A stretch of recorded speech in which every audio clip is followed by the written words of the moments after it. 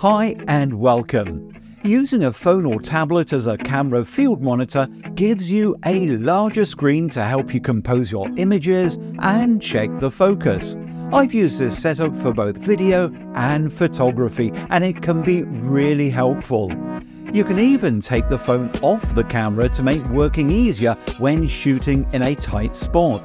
I go through how to set this up and the required accessories in another video, and I'll put a link up on the screen. But the drawback of this setup is that you can only use your phone for as long as it's got battery power. The obvious solution is to simultaneously provide charge to the phone while the phone powers your video capture accessory. But here's the thing. Most modern phones can be used in USB host mode. That enables connecting and using a USB peripheral device, where the phone provides power to itself and the accessory, plus communicates with the peripheral device by using an on the go or OTG connection. But in OTG mode, power is designed to go from the phone to the peripheral device.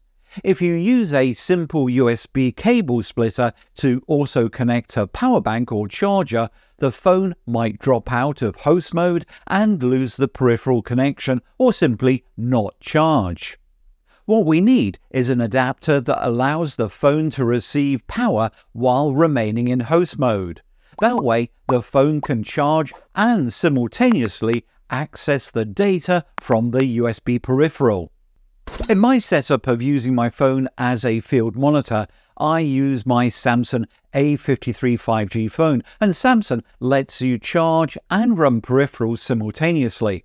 The setup that I now use is almost the same as in my other video, but I swap out the original OTG cable that has one connector at each end for a USB-C OTG charging splitter adapter the male USB connector plugs into my phone, and at the splitter end, I plug the power source into the female USB C connector, and the video capture card goes into the USB A 3.0 socket.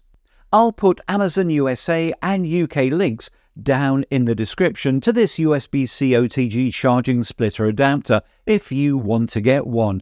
It has both 60 watt power delivery charging and USB 3.0.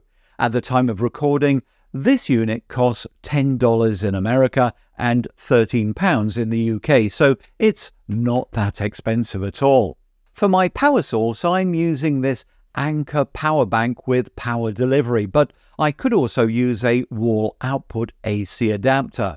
So let's get this connected.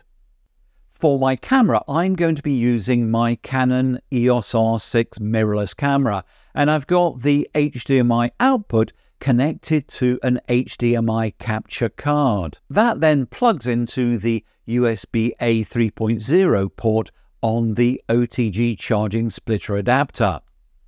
The USB-C plug on the adapter, that then plugs into the port on the phone.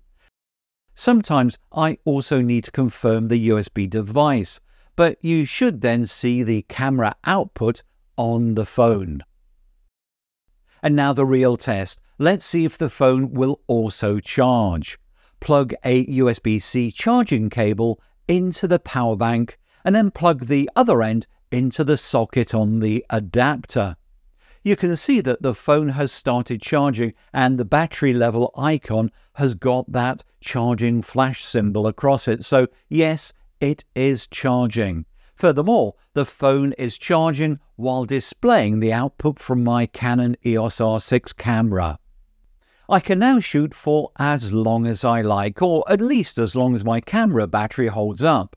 Now, if that's not long enough for you, you could use something like this the SmallRig R5R6 R5C L bracket and power supply kit. It uses a Sony NP-F 970 battery that's got about four times the capacity of a Canon LPE6NH battery. I'll be recording a video about this soon, so please help me with the YouTube algorithm with a like, share, and subscribe. And to get notified of when I publish my new videos, smash that notification bell. Until next time, keep creating.